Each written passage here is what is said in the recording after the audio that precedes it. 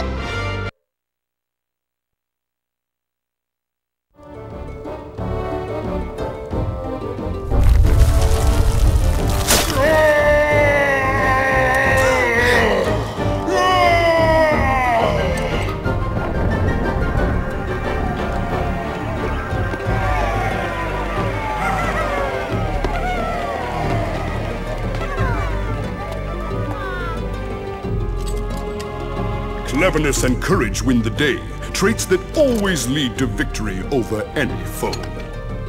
Take my token and know this truth. When you need my aid, I will come to your call.